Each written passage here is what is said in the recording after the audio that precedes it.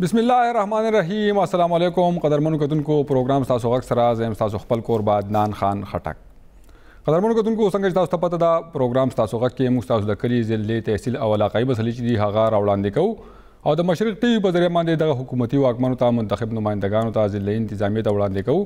چې دغه شان هغوي ستاسو دغه مسلو د حل کولو لپاره کوشش وکړي او ستاسو دغه مسلې چې دي دغه ورسره هوارې شي کدونکو د نور کله پرنګ نن هم زموږ د پروګرام درې برخې دي د پروګرام په لومبه برخه کې زو ملکن طرف ته د ملکن په سخا کوټ علاقه کې چې دی یو سماجی کارکونکي مقامی صحافي محمد زاده اف اګرچ دی هغه بیګا په بیدردې سره قتل کړی شوی دی او د هغه لاش چې دی مظاهرین بیا راوتي دي سهار ټوله ورځ چې دی هغوی په سړک باندې تیره کړه دا هغه لاش یې په سړک باندې ایښودی او دغه مطالبه کوله چې ډپټي کمشنر او اسسټنټ کمشنر چې کوم دی هغه دی ګرفتار کړی شي د دغه قتل په الزام کې ځکه چې دغه ځوان چې دی هغه بیا بیا دغه خبرې به کولې په کلی کچهري کې د ډپټي کمشنر د مخې د اسسټنټ کمشنر د مخې د انتظامی د مخې چې را تاسو دې په ما پسې لاس وهنه کوي او دغه چې کم دینو ماته خطر ده ماته چې دې هراسا کولې کېږم د انتظامی لخوا هم د مافیا لخوا هم د منشات پروشو لخوا هم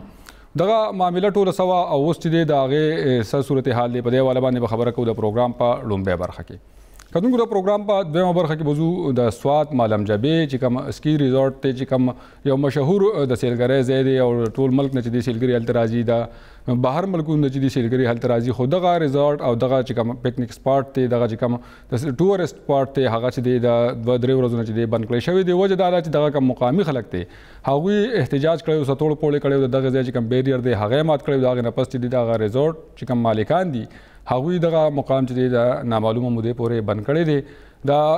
کسانو چې تول پړ په دغه علاقې کې کړي په دغه ځای کې کړي د هغوی خلاف چې د مقدمه هم درج کړې شوې ده خو په دغه حواله باندې نور څه تفصیلات دي د دغه کاروایی څه شوی دا څوک گرفتار شوی دي کنه دي گرفتار شوی او دغه چې کوم دغه ټوریست پارت دی آیا دا به د کم ورځو پورې بندي سو پورې به بندي کله به دغه بحال شي دا ټول تفصیلات به ګورو د پروګرام په دویمه برخه کې کتونکو د پروګرام په دریمه برخه کې بزو بر دیر طرف ته بر دیر څنګه تاسو ته پته دغه هم سیلګریزي سیمې دي خيسته علاقې دي خو د یخنۍ په موسم کې دغه ځای کې واورې وشي، واورې وورېږي، سړکونه چې دي هغه بند شي، په دغه حواله باندې حکومت چې دی هغه څه اقدامات کړي دي یا کوي یا څه اراده لري او ایا د یخنۍ په موسم کې د واورو په موسم کې چې دی د بره دیر دغه علاقو ته سیلګري تلی شي که نشي تلی که ځي نو هلته د هغوی لپاره څه انتظامات څه سهولیات شته یا نشته په دې حواله باندې به د پروګرام په دریمه برخه کې خبرې اترې کوو. کتونکو د پروګرام په لومبه برخه کې لاول راځو ملکن د غاسا کوټ چې کومه پیښه شوې ده په دې حواله باندې زموږ سره رپورت موجود دی لاول دغه رپورت ګورو بیا به د هغه ځای چې کوم منتخب د قائم صوبایي اسمبلی غړی دی د هغه سره خبرې اترې کوو دین علاوه چې کوم تفصيلات دي زموږ نماینده دی الته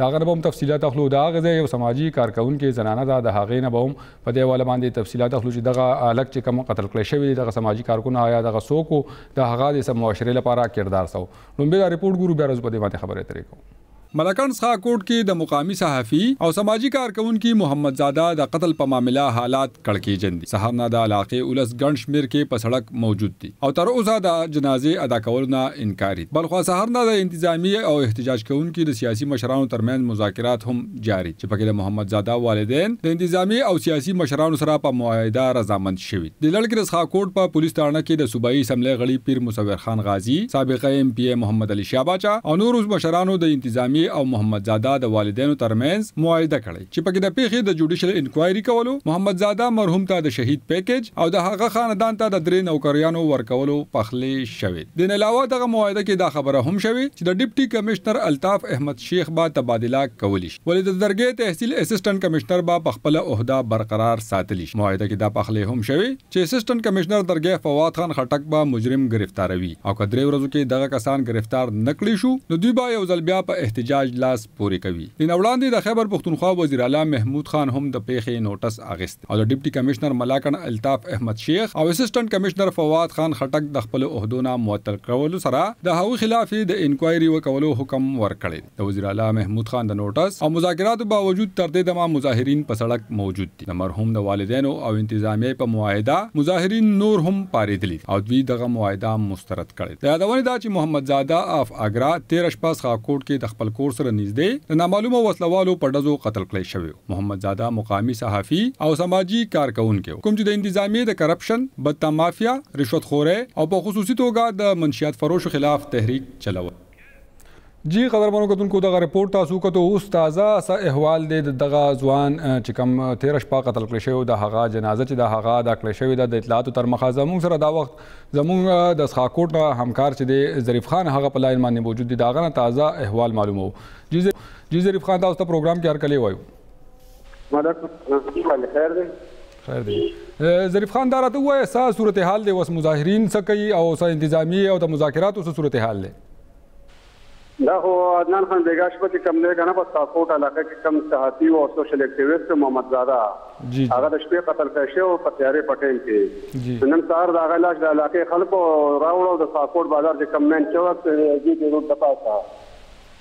نو په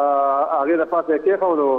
او دا سل ملزمانو د نشاندهۍ او د ګرفتارۍ مطالبه یې کوله چې موږ ته د ملزم نشاندهي وکړی شي او ګرفتاري د ده وکړی شي. نو په دې وخت کې د زرګونو په تعداد کې چې کوم مشتعل خلک وو هغه په سړک باندې کېناستل او احتجاج یې شروع کړو. دې احتجاج ته د لرې لرې نه د مختلفو علاقو نه کوم سیاسي او سماجي تنظیمونه او داسې نور هر طبقه چې کومه ده د هغې مشران رالل او موجود وو او نمایندګي یې کوله. مقتول محمد زاده چې کومو رقم جوجله شوی نو دا د ډېر وخت نه د ډرګ مافیا او د اغواکارو خلاف یو مو هم شروع کړی وو او په سوشل میډیا باندې هم د ډرګ او د جرایمو خلاف چې کوم دی یو مضبوط اواز به تاسو ته په هر ټیم کې یو بې باکه صحافي او بې باکه اکټیویسټ هم نو بیا چې کوم دی دا بل خبره دي د یادونې وړ ده چې تیره میاشت چې کوم دی د ملکن ډي سي چې کوم دی الطاف شیخ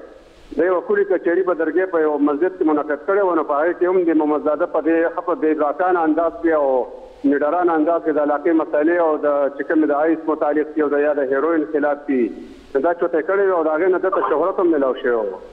او بیا د خپل سوشل میډیا پیج نه یې چي کوم پوسټ کړی او د یو خوا شهرت ملاو شو او بل خوا ده بیا ماته بیا دا په پوسټ کي ده وکړو چي وایي ماته دمکیانې ملاویږي د ډي سي طرف نه د ډي سي ملاکنډ نو دا په هغې باندې ده وي چې ما سره څه وشو زما څه نقصان وشو نو د هغې بیا د ډي سي ملاکنډ ذمه واري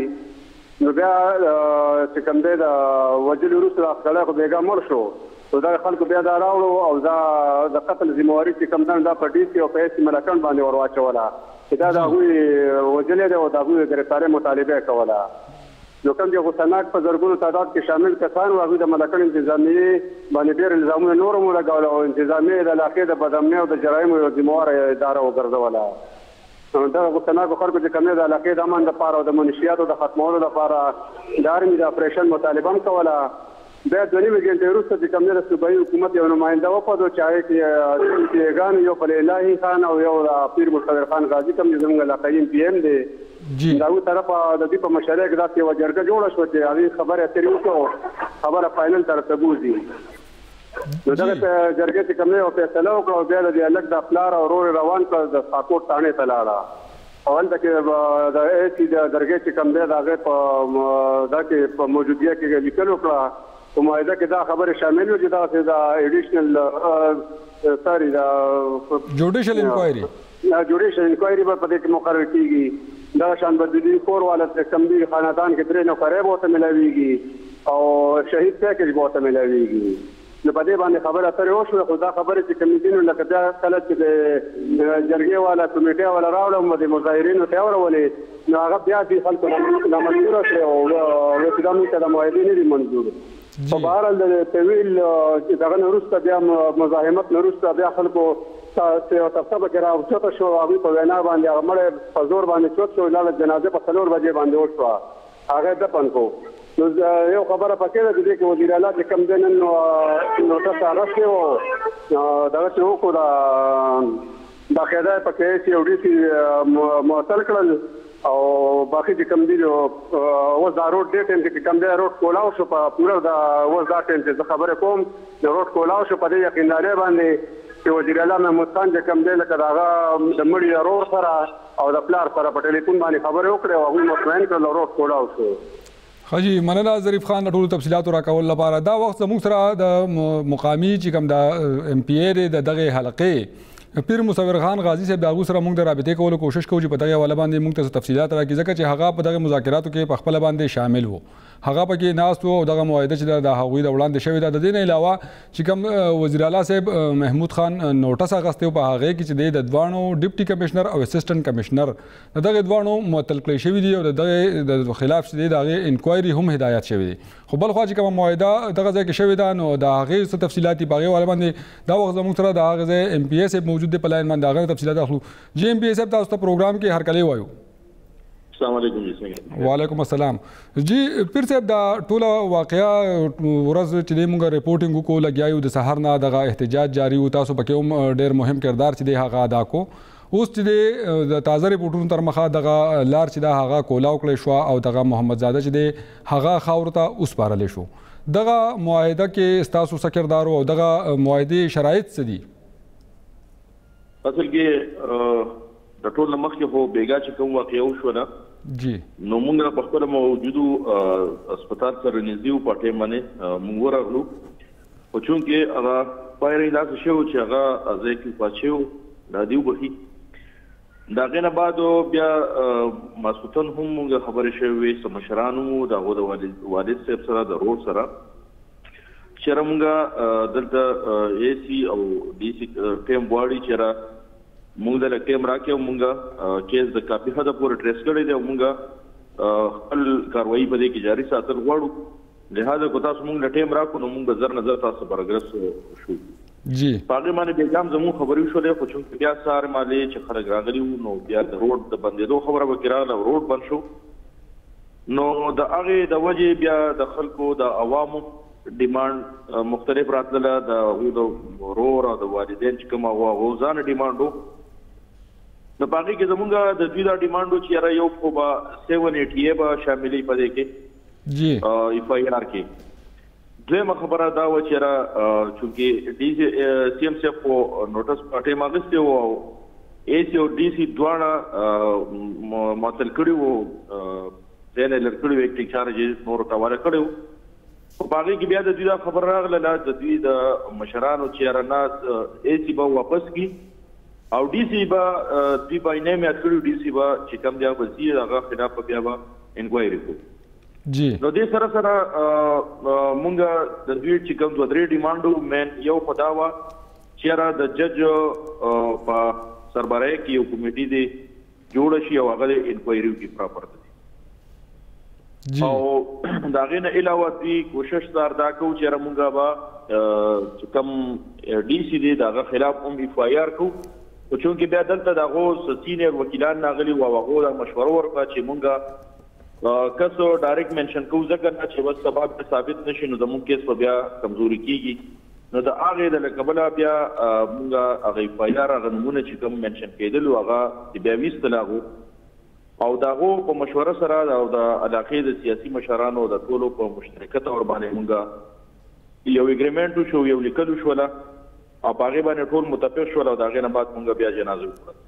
خجی ایم پی ایس اپ دا کم الزامات چې دغه لګولې دي د محمد زاده په د ملکن په انتظامیه باندې په ډیپټي کمشنر باندې په اسسټنټ کمشنر باندې په دغه منشيات فروش باندې چې یاره دلته دا کم د دغه حواله سره به کاروایي وشي کنه هغه خو شهید کړی شو چې دی هغه خپل ژوند چې دی هغه نه لاس وینځو خو آیا دغه علاقه کې چې کوم خبره خلاف هغه جنگ کوو دغه تاسو دغه علاقه د صوبایي سملې غړي نو تاسو دغه په حواله باندې بسونه کاروایي کله به کیږي او سونه شوي ده په دې خو بالکل د شروع نه د زما خپل ذاتی به زه خبرو کوم دا خبره زه خلفیه کوم چې الحمدلله مونږه راغلی یو د نن تاریخ پورې مونږه د دغه خلکو نه سپورټ کړی دی او نه کو او نور تم دا وی چې را دا یو ناسور دی د علاقې لپاره د روان کول لپاره د دې مخنیوي کول ضروری دی د دې سپورټ نه دی کول پکار نو ان شاء الله مونږ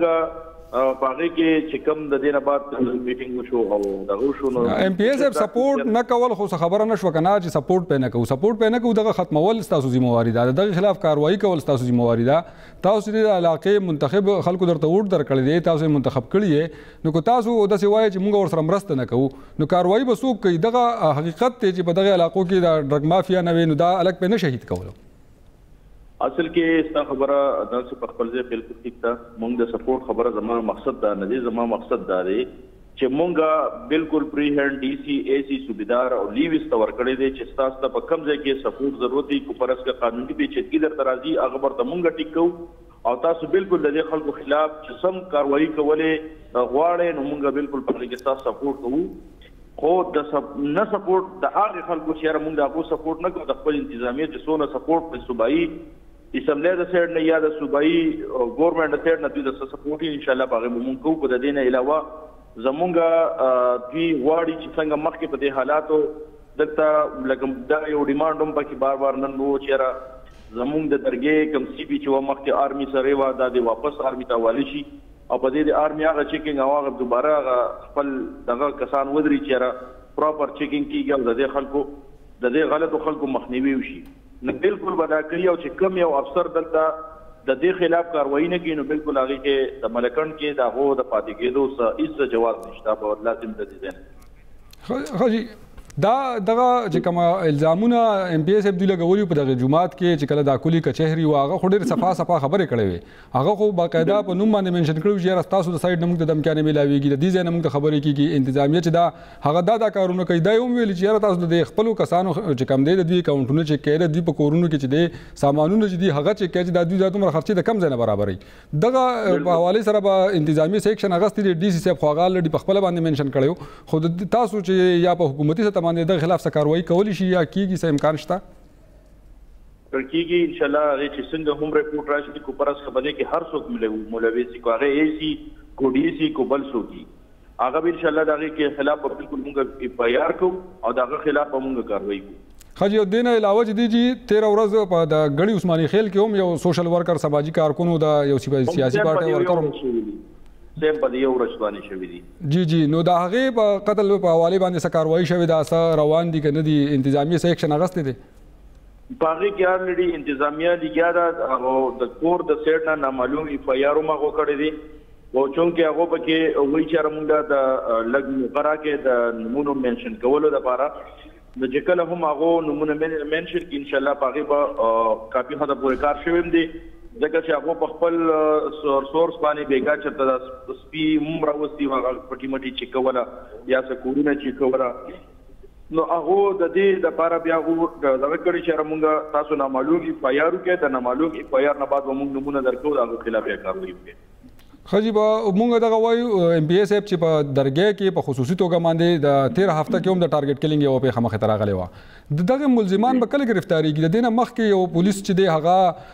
په کور کې شهید کړی شوی چې کله هغه په ملزمانو باندې چاپه واله دا هغه ملزم هم د اوسه پورې دغه مجرم چې د گرفتار نه کړی شو په درګې بازار په مین چوک کې یو کس وشتل شو پیدل کم مجرم چې د هغه لاړو هغه گرفتار نه کړی شو دغه ځای په غړې کې چې د یو کس پرون قتل کړی شو دوه دا په ساکوټ کې دا حالات کم خو روان دي آیا تاسو هم دغه مطالبه کوي چې آرمي ته حواله کړی شي د امن او امان د صورتحال